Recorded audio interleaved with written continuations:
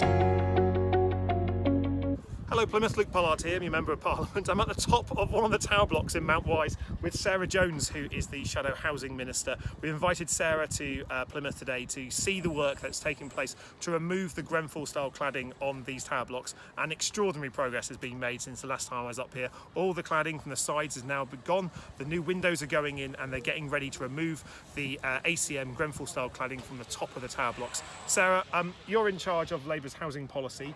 Um, what does a visit like this mean to you? Well, this means so much because it's been two years now since the Grenfell Tower fire, and we have been pushing in Parliament for the government to move faster and quicker to remove the ACM cladding, which is so dangerous from, from social housing blocks and from private blocks. And every step of the way, we've had to push them to provide the right funding. So to actually see the work being done with communities that are being engaged throughout the whole process, so we're happy, understand what's happening, and know that their building's going to be so much safer when this is all finished is really wonderful because this is what should be happening everywhere, and it, and it isn't yet. And uh, so this, you know, there's some great um, examples here of good practice as well that I think other areas can learn from. And it's wonderful to be here. And what a wonderful view the people who live here have. Oh my gosh, it's absolutely beautiful to be here today. So it's great to see you and it's great to see the work that's being done. Fantastic.